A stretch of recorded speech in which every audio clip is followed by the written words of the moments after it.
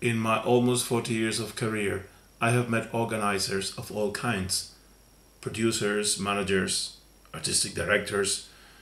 So I thought I had seen it all. Until the VCA, with its president Jason Micallef and CEO Catherine Tabone with her amazing gang, proved me there is always room to improve efficiency.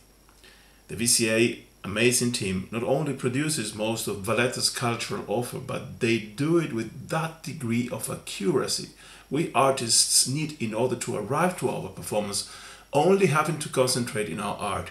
And that is what makes the difference. After the successful concert last October, I'm very much looking forward to our Tosca premiere in co production with Teatro Manoel the upcoming March 5th.